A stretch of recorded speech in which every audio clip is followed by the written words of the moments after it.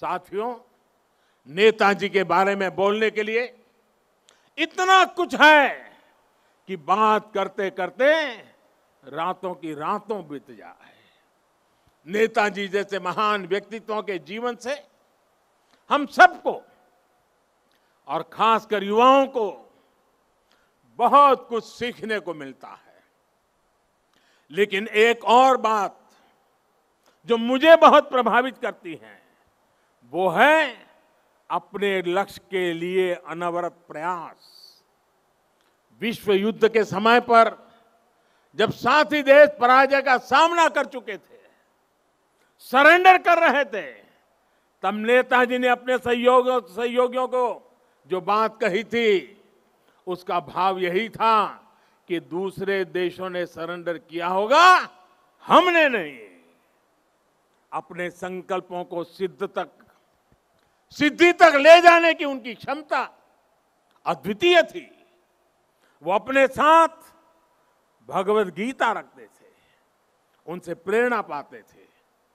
अगर वो किसी काम के लिए एक बार आश्वस्त हो जाते थे तो उसे पूरा करने के लिए किसी भी सीमा तक प्रयास करते थे। उन्होंने हमें ये बात सिखाई है कि अगर कोई विचार बहुत सरल नहीं है, साधारण नहीं है।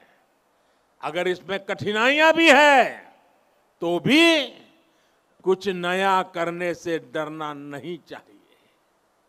अगर आप किसी चीज़ में भरोसा करते हैं तो आपको उसे प्रारंभ करने का साहस दिखाना ही चाहिए। एक बार को ये लग सकता है कि आप धारा के विपरीत बह रहे हैं। लेकिन अगर आपका लक्ष्य पवित्र है तो इसमें भी हिचकना नहीं चाहिए। उन्होंने ये करके दिखाया कि आप अगर अपने दुर्गामी लक्ष्यों के लिए समर्पित है तो सफलता आपको मिलनी ही मिलनी है। साथियों, नेताजी सुभाष आत्मनिर्भर भारत के सपने के साथ ही सोनार बंगला की भी सबसे बड़ी प्रेरणा है। जो भूमिका नेताजी ने देश की आज़ादी में निभाई थी, आज वही भूमिका पश्चिम बंगाल को आत्मनिर्भर भारत अभियान में निभानी है।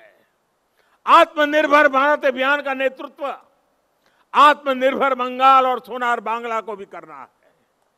बंगाल आगे आए, अपने गौरव को और बढ़ाए देश के गौरव को और बढ़ाएँ।